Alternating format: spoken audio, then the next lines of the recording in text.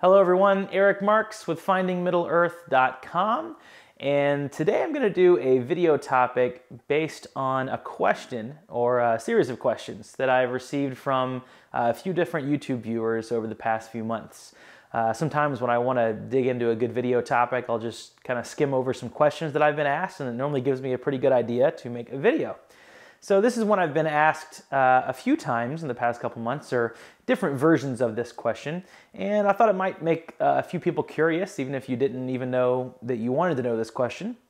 Uh, it's, it's a pretty interesting one. So the question is basically, uh, after you post-process a photo, and after you, you know, seal the deal, it's done, it's back in Lightroom, you export it to a JPEG, you have it on your portfolio, you post it on social media, after it's out there, right? It's, is it okay? Is it considered a sin or is it considered bad practice to then go back and make changes to that photo?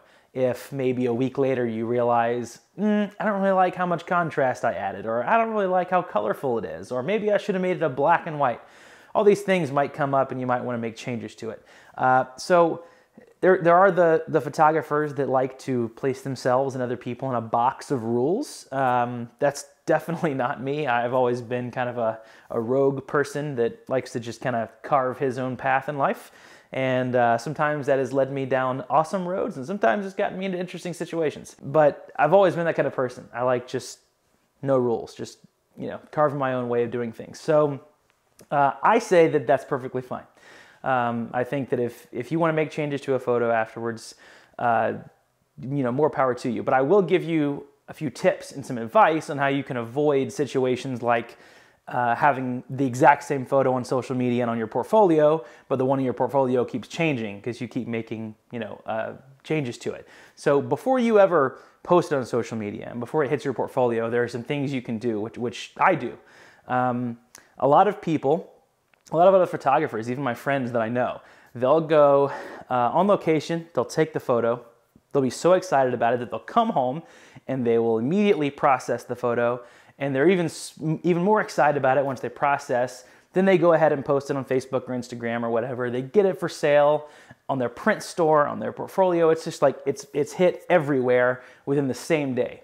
And that's great that, that people are that excited about their work. You know, that, that's fun. There's no, there's no problem with that. But uh, typically the way the mind works, especially if you're a creative person, I think that creative people are inherently bad at making up their mind. Um, and that is something I find across a lot of creative people. We're, we're really bad typically at just making one decision and sticking with it. Like when it comes to cameras, right? Gosh, I mean, our, our photographers not the worst decision makers in the entire world. Go to YouTube and just type in camera switch or camera brand switch. It's 100,000 videos on Canon to Nikon, Nikon to Fuji, Fuji to Sony, Sony back to Nikon. We're the most indecisive people in the world. Uh, so because of that, um, it's probably not the best idea to go take the photo, come home, process it, and then boom, it's out there for the world to see. Uh, what I do is, when I'm on location, I'm always kind of subconsciously premeditating some kind of idea uh, of what I want it to look like. And that's fine. That's a good thing to do because you're there in person, you're kind of taking everything in, you're taking in the moment. You know, the colors are great, maybe the, the you're taking in the smells, you're just creating a memory of this scene. And a lot of that can play part to how you, you know, creatively post-process the image. It's great because um, you're there in person. You can see how colorful it is. If the sky really is as pink as it should be, or you know maybe the colors are a little more subdued and they're kind of pastel colors. And all that kind of goes into how you process it. But sometimes uh, when I'm out in the field, I get kind of too much of a, a premeditated idea of what I want it to look like that I never try to process it on the exact same day. I'll normally wait a day or two before I even look at the images so that I can kind of come back and look at it with a, a, a, fresh mind and fresh set of eyes, and I don't have too many ideas that are just sitting back there. Because uh, the creative process, post-processing and photo editing, the whole thing, it, it, should be just that. It should be creative. Uh, it shouldn't be 100% premeditated and like just within these guidelines. You can kind of do whatever you want. It's just kind of up to you and your style. So because of that, um, it's good to just kind of let it, let the image sit, you know, put it on your computer, let it sit, couple days and then come back and revisit it. Um, that's one of the things I do. And then once I edit it, by the way, I spend anywhere from, I don't know, 30 minutes, 30 minutes to 45 minutes maybe per photo. Most of the time it's about 30 minutes. Uh, and then certain photos, if it's some big panorama, maybe it'll take an hour. But some people spend two or three hours. Um, and even if it's just 30 minutes or 40 minutes or whatever, you're still sitting at that computer screen, looking, straining your eyes for that long, going through different shades of red and pinks and blues and grays, and you're playing with the color and you're switching the color and you're adding contrast and taking away color and adding color, dodging and burning. And you're doing all this and you're so focused on this that it's skewing the way you're gonna see the final result. And that is proven to be true 99% of the time with how I process my work, where I will love it, right? I'll start processing it, I'll end, and I'll go, oh my gosh, this is amazing, it's great, I'm gonna post it right now. And then the next day I'll wake up and I'll go, what was I thinking? Why, why did I add that much contrast? Why is it so dark? Why is it so bright? Um, so many things that I could have done different.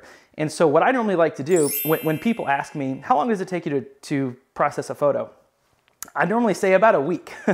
and it's, it sounds crazy, but I don't literally edit the photo for a week.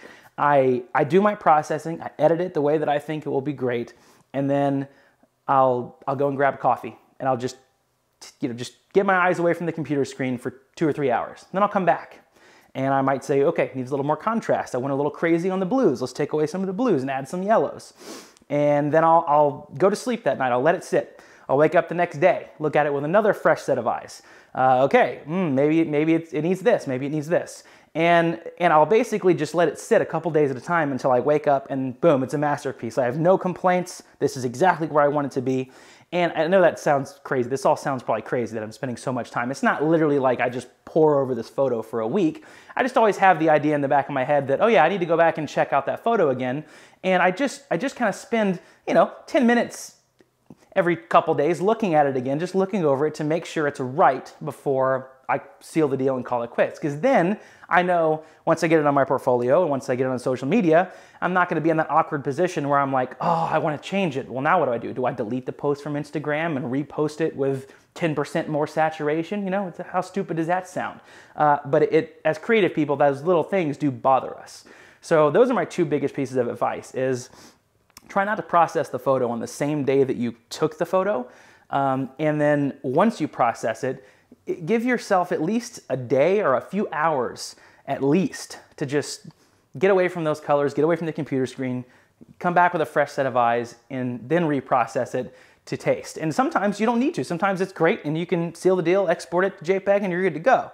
But a lot of the time, most of the time, when I walk away and come back, I see things that many things I didn't see before, even if it's like a sensor dust spot.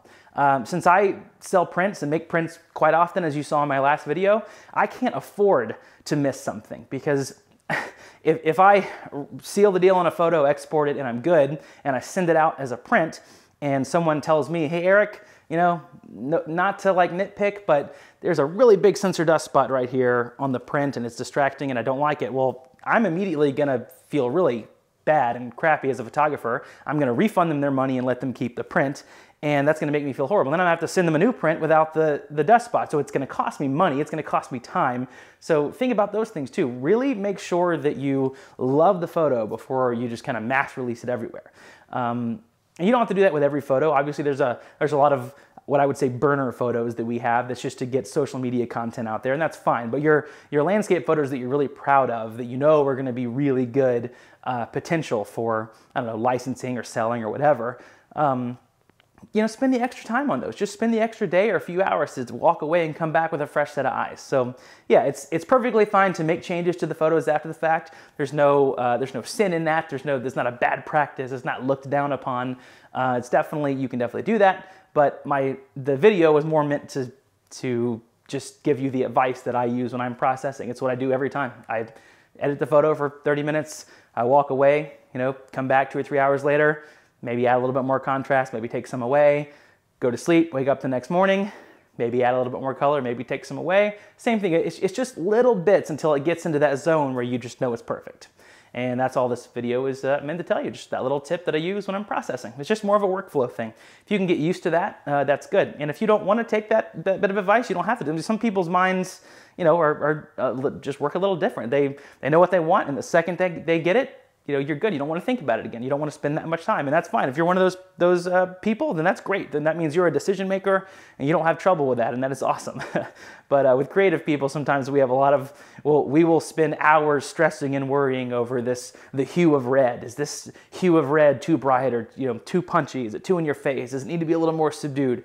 Um, yeah, when you print, it gets even worse. The shades of red that come out might be like you know, a, a, half a, a half a shade off from the computer screen, and then I'll have to scrap it and make a reprint. I'm kind of a perfectionist with that stuff. So anyway, there's my tip. Uh, hope you guys got something out of this video. Thanks for watching, and I'll see you guys in the next one.